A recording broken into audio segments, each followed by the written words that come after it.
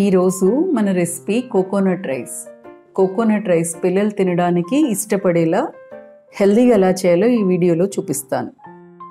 Coconut rice చేయడానికి నేను ఈ గ్లాస్తో టూ గ్లాసెస్ బాస్మతి రైస్ తీసుకొని ఇలా పొడి పొడిలాడే విధంగా ఉడికించి పెట్టుకున్నాను. కొబ్బరికాయ ఒకటి తీసుకొని ఇలా తురుము పెట్టుకున్నాను. ఈ తురుము నేను గ్రేటర్తో తురుముకున్నాను. గ్రేటర్తో తురుముకోవడం వల్ల కోరు ముద్దగా కాకుండా ఇలా పొడి పొడిలాడుతూ వస్తుంది. ఫోర్ స్పూన్స్ జీడిపప్పు తీసుకున్నాను టూ స్పూన్స్ కిస్మిస్ తీసుకున్నాను. అలాగే టూ స్పూన్స్ శనగపప్పు ఒక స్పూన్ మినపప్పు తీసుకున్నాను. ఒక స్పూన్ ఆవాలు జీలకర్ర హాఫ్ స్పూన్ తీసుకున్నాను. నాలుగు ఎండుమిర్చి తీసుకుని ఇలా మజ్జిగ తుంచి పెట్టుకున్నాను. నాలుగు పచ్చిమిర్చి ఇలా కట్ చేసి పెట్టుకున్నాను. కొద్దిగా కరివేపాకు తీసుకున్నాను. కోకోనట్ రైస్ చేయడానికి నేను స్టవ్ ఆన్ చేసి కడాయి పెట్టుకున్నాను. కడాయిలో కోకోనట్ ఆయిల్ వేస్తున్నాను. Five to six tablespoons oil వేసుకోవాలి. కోకోనట్ రైస్ చేయడానికి కోకోనట్ ఆయిల్ వేసుకుంటే ఫ్లేవర్ బాగుంటుంది. ఆయిల్ వేడెక్కిన తర్వాత పోపు దినుసులు వేసుకుందాం. శనగపప్పు మినప్పప్పు ఆవాలు జీలకర్ర వేసుకుని ఒకసారి ఫ్రై చేసుకోవాలి.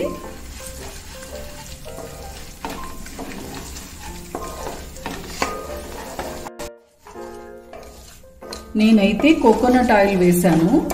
మీరు రెగ్యులర్గా వాడే ఆయిల్తో కూడా చేసుకోవచ్చు. ఇవి ఇలా కొంచెం ఫ్రై అయిన తర్వాత ఇప్పుడు దీంట్లో మనం పచ్చిమిర్చి ఎండుమిర్చి వేసుకోవాలి. అలాగే జీడిపప్పు కూడా వేసుకుని ఫ్రై చేసుకోవాలి.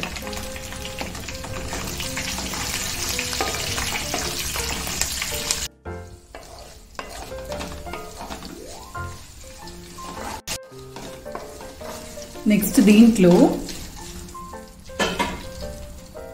కిస్మిస్ కరివేపాకు కూడా వేసుకుని ఫ్రై చేసుకోవాలి.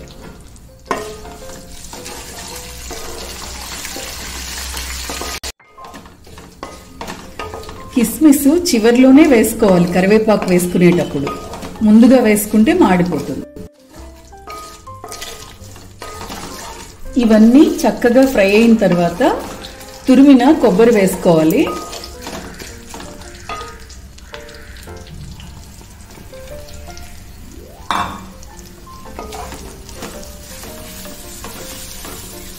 పోపు ఈ కొబ్బరి అంతా బాగా మిక్స్ అయ్యేలాగా చక్కగా కలుపుకోవాలి.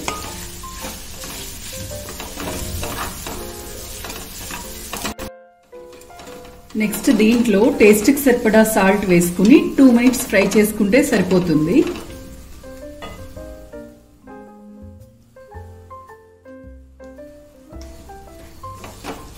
కొబ్బరి ఎక్కువ వేగనివ్వకూడదు. కొబ్బరి ఎక్కువ వేగితే ఫ్లేవర్ మారిపోతుంది. జస్ట్ టూ మినిట్స్ ఫ్రై చేసుకుంటే సరిపోతుంది.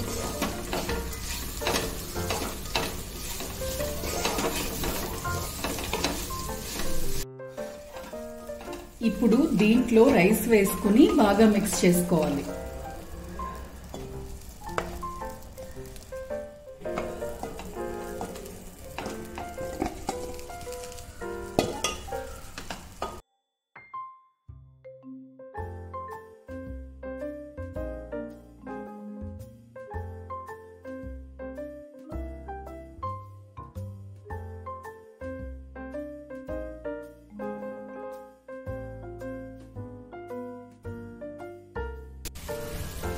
దీంట్లో పసుపు వేసుకోకూడదు. పసుపు వేసుకుంటే రైస్ కలర్ మారిపోతుంది.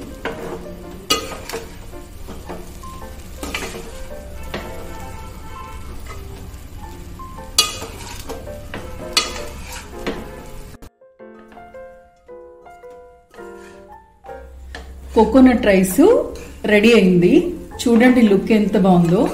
ఫైనల్గా టూ స్పూన్స్ నెయ్యి వేసుకుని డిష్ అవుట్ చేసుకుందాం.